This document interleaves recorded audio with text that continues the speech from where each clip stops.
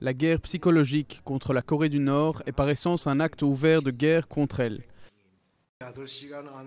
Une action militaire forte sera lancée immédiatement si la Corée du Sud ne cesse pas les diffusions de guerre psychologique dans les 48 heures. Si l'ennemi ne respecte pas notre dernier avertissement, une forte réponse sera inévitable.